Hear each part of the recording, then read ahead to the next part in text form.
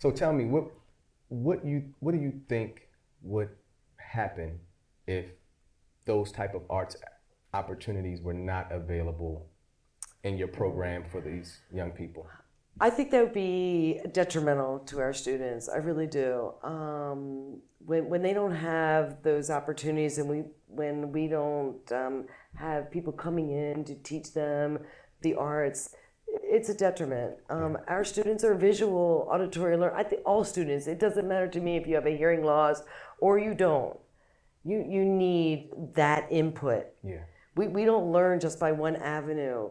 We learn by visual input, auditory input, physical input. Mm. And what is that? That's the arts. Yeah. They include all of those. Yeah. Yeah. Yeah. So- And it touches your soul. It touches- yeah. Absolutely.